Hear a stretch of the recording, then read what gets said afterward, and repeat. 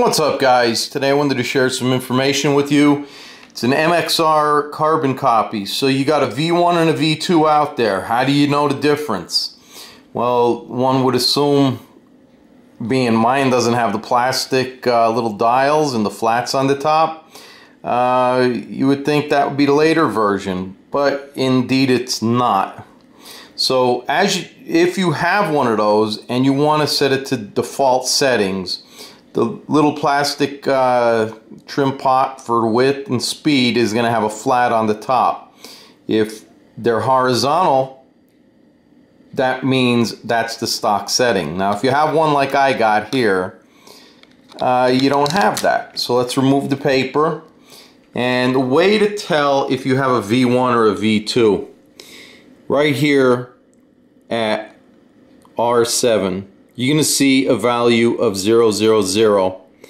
Now, that indicates that this is a V2 board, V2 circuit.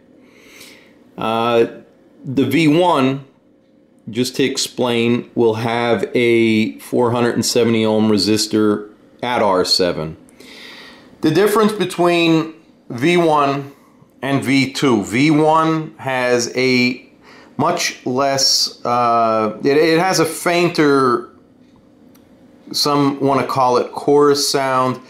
Uh, to me, it's more like an Echoplex tape delay. Uh, that's just me.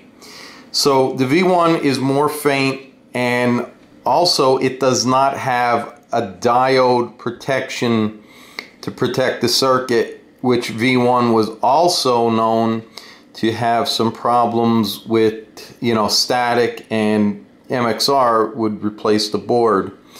Uh, how do you tell where if you want these on default? Okay, so in here it's going to be really hard to see, but you can see two slots. Now those two slots got to face vertical. And you would think if you're going to take this screwdriver and turn it all the way to the left, that this upper part of the slot would go all the way down to say about 7 o'clock. Same with the speed. It's not that way. And I'm going to show you here if I can. So I'm going to turn it right now, it's stock setting. If I turn it, you can see that turned only that little, little bit. The same thing with the speed you can't turn it no more. Uh, so, let me see. Oh, okay, I wasn't turning it hard enough. All right.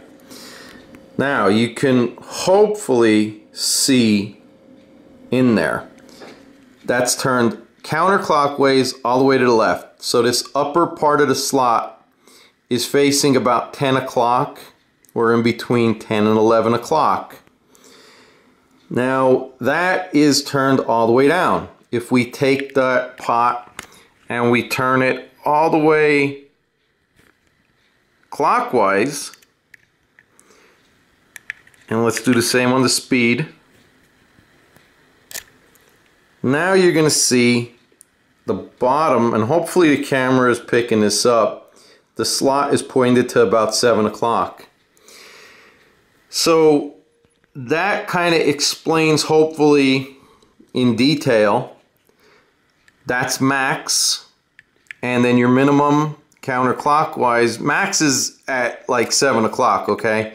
And then uh, minimum is right around 10 o'clock and then the stock setting would be just backed off ever so slightly to noon.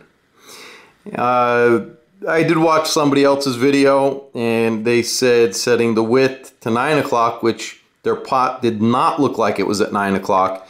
It actually looked like it kind of was maybe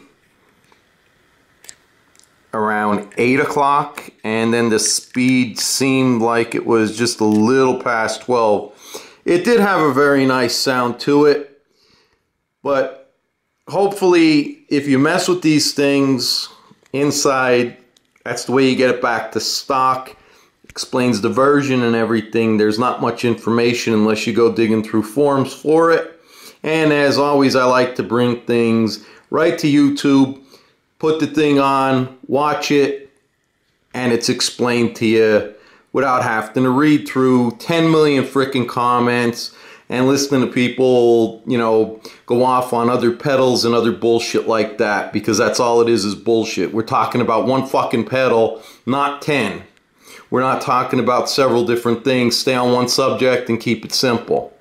That's my, I use the KISS principle all the time. Keep it simple, stupid.